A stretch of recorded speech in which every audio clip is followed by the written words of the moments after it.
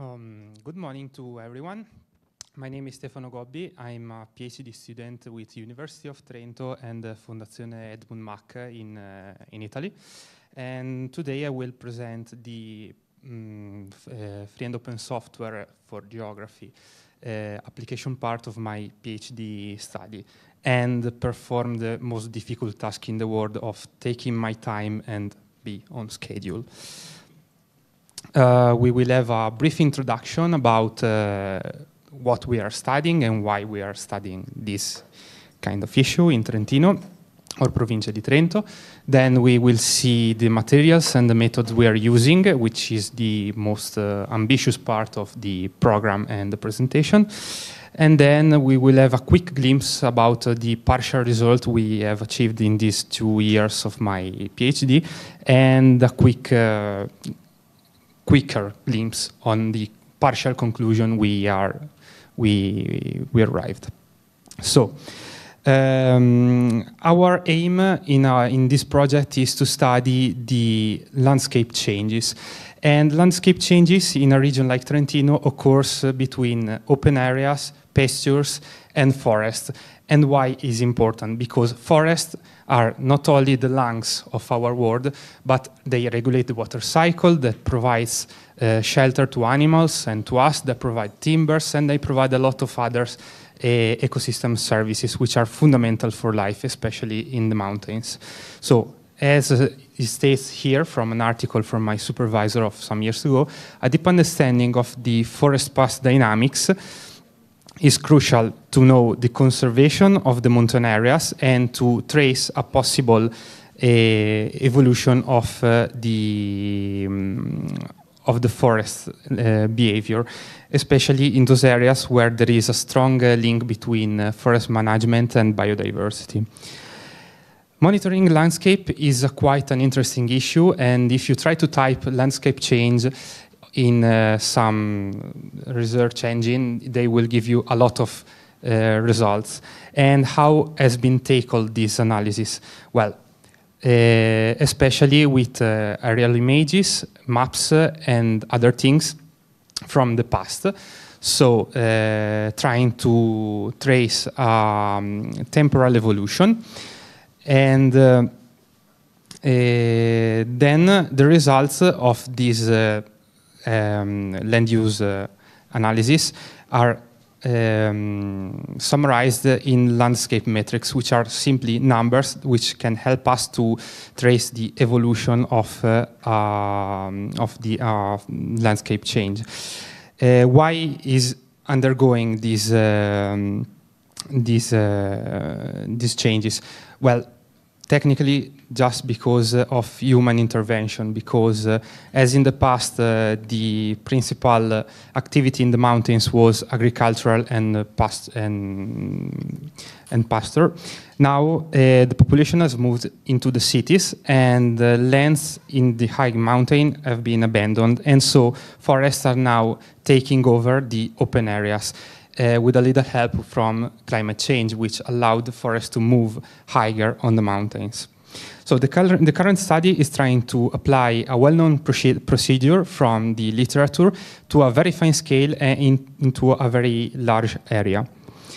Here we have a quick overview of the study area that I was talking about, which is Trentino, a region in the north part of Italy, uh, mostly covered by mountains, so which mountains are covered by the exceeding of 60% by forest, and we have uh, also a lot of habitat in Natura 2000 network. So, uh, now we'll see some materials and methods.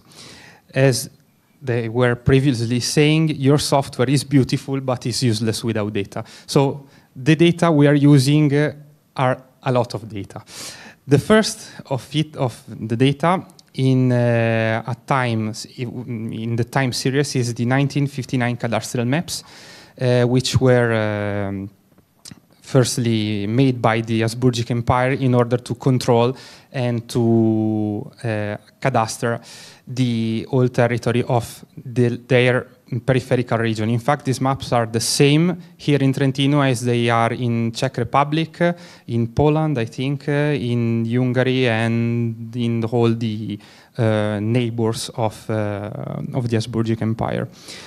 Uh, they are cadastral, so each parcel is colored by a background color. And for instance, here you can see a particular of Trento city.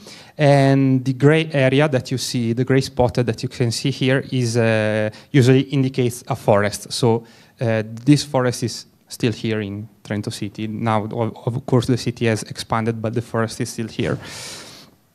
Then we have in 1930 the Italian Kingdom forestry map, which are also a sort of cadastral map. Here, uh, the ambitious project by Mussolini was to map all the forests in Italy, and uh, they managed to do that at a larger scale. The previous scale was very detailed. This one is a scale about one to a thousand, a hundred thousand, and. Um, uh, the background color here indicates a type of forest, so pine forest, chestnut forest, beech forest, and, uh, and so on.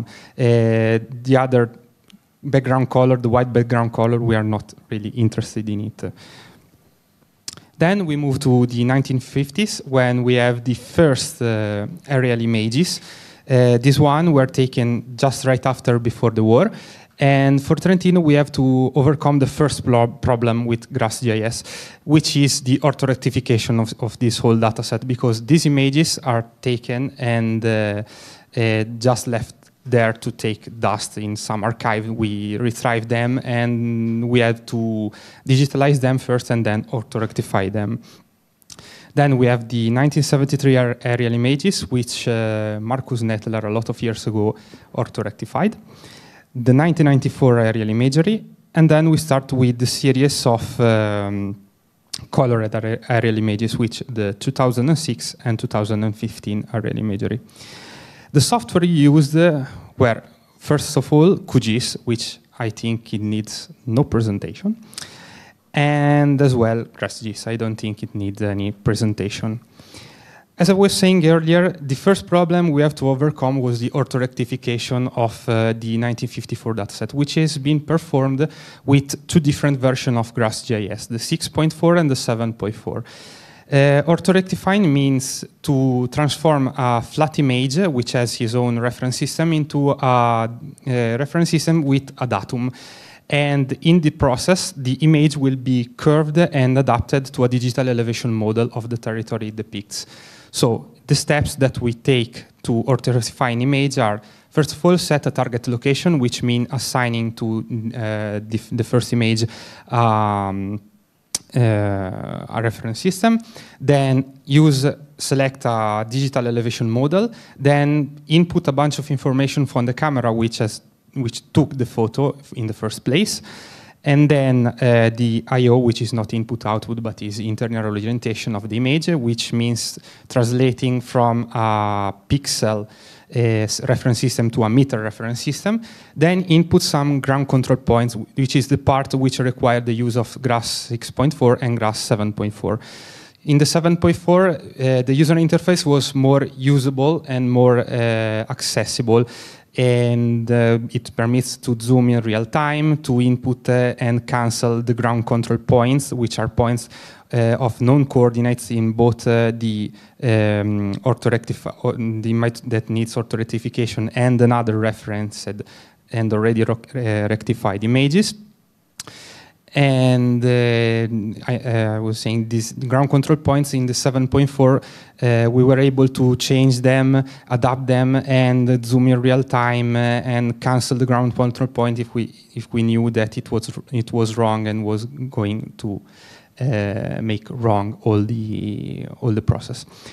And then after um, the process of ground control point um, assessment, which is uh, iterative, uh, meaning that uh, we obtain an error for each ground control point, and when we see that the error we continue to input ground control point until the error is low enough that we can accept this error to be in the auto-rectified images.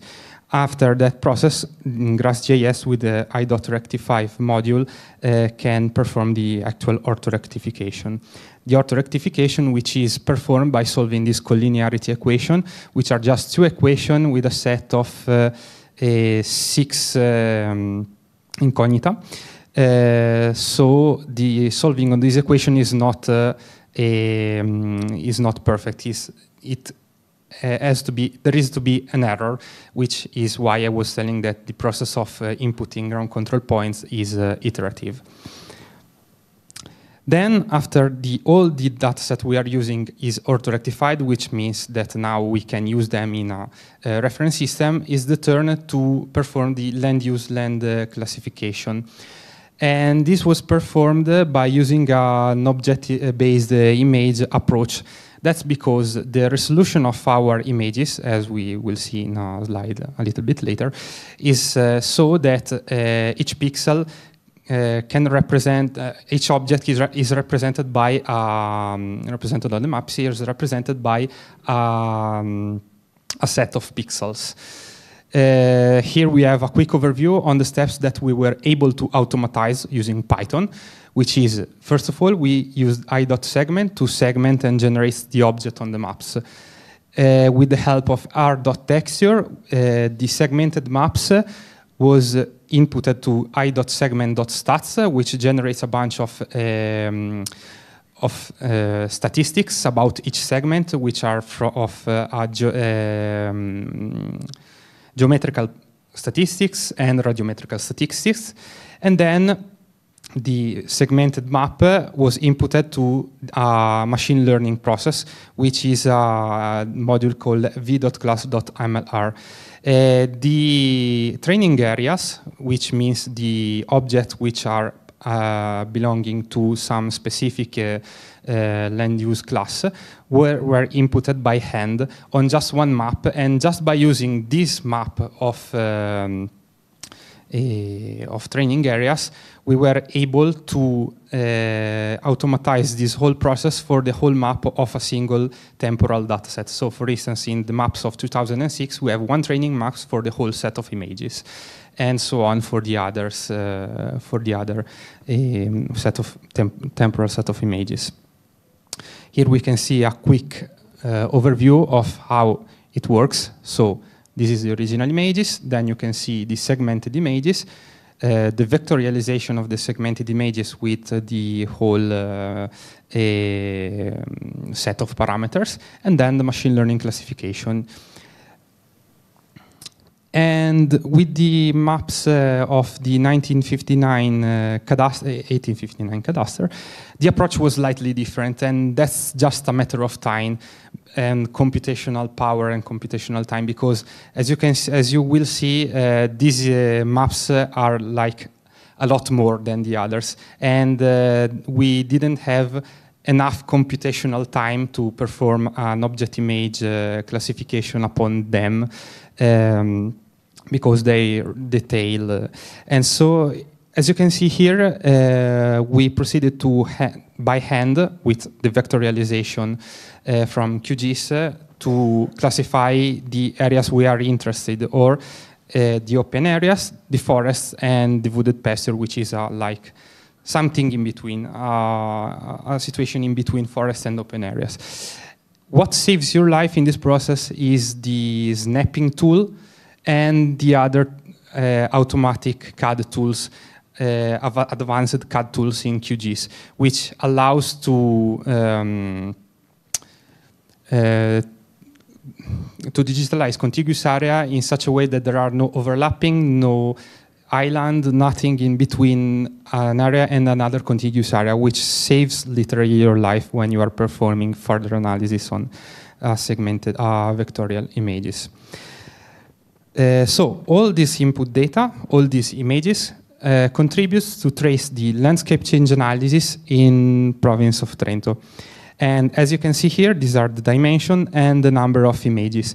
Uh, the Austrian cadastral map is a mistake, misses a one in front of a five, so they were uh, 15,000 file, and that was that's why we didn't have enough time to process the image with an object-based uh, approach.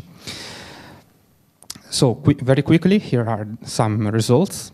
Uh, first of all, with the help of GRASS uh, 6.4 and 7.4, we were able to obtain a complete orthorectification of the 1954 dataset. And this paper, which was published uh, in the um, in the last year proceedings of the FOSS4G DAR, uh, explains a little bit more in details, and um, a more detailed paper is uh, on the way to be published and uh, submitted.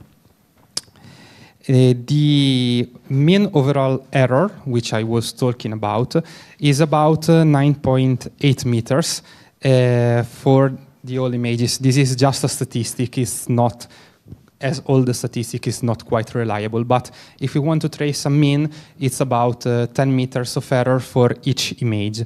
And this is, was considered acceptable for, our purpose, for the purposes of our, uh, of our study. Can we improve the result? Of course we can. For instance, we uh, can use uh, the digital elevation model with uh, a more refined grid. And for instance, as you can see here, with the 10 by 10 meter resolution of the digital elevation models, there is a step area which is not uh, recognizable even by, by human eye using the one by one meter resolution DEM, we can see that the situation improves. And what was like a blurred mm, shade now becomes like a valley bottom in some part of the Park of Dolomiti of Paneveggio here. Uh, the map of the, the 1859 was completely digitalized using uh, QGIS and these are the some statistics about uh, the situation, how it was in, nine, in 1859. And then uh, an example of the result of the classification with OBIA. Here I carefully selected a detail which can show how um, how is the level of detail that can reach can be reached with uh, the object image, the object-based uh, approach. As you can see, roads are clearly visible and classified correctly. And here is an, abandoned, an abandoned cave, which has been uh, classified as road, which I mean, it's quite uh, correct, not correct, but quite. And then uh, the algorithm has perfectly discriminated between uh, what are trees and what are open areas, as is possible to see in the big area above. And uh, you can ask, well, this approach of using just one uh, trainer map for each temporal dataset will affect uh, the results it will, but we can control how it will affect the result. As you can see, the red and yellow column represent the Cohen's kappa coefficient for the maximum likelihood and the SMAP approach. And uh, using the same um, uh, training areas with uh, two different maps, lowers the accuracy on the maximum likelihood and SMAP approach, while it's more stable using other approach, which are all machine SMVS, WVAB, and, and so on. All the others are uh, machine learning approach on object-based uh, image. Uh, so we can, I think we can fairly say that we can control how the accuracy uh, will, uh, will work out for the whole dataset. So for concluding, GrassGIS was used in every step of this research and will continue to be used in the further step of our research.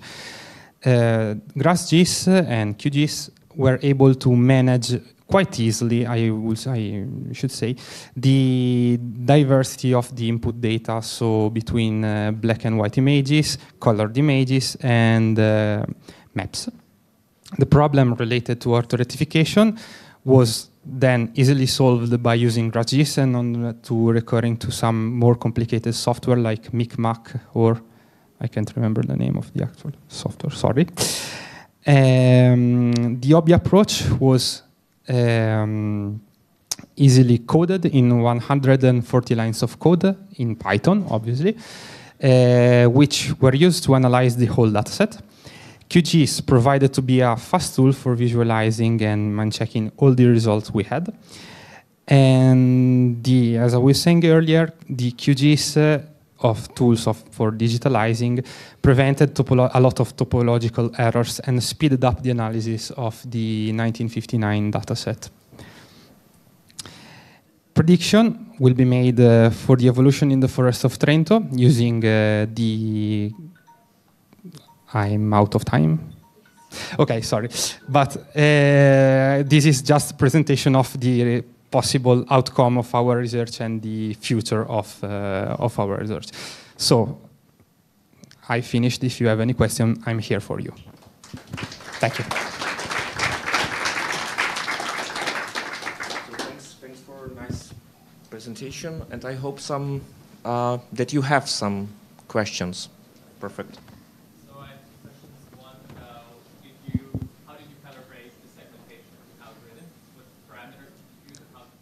Ah, okay. Uh,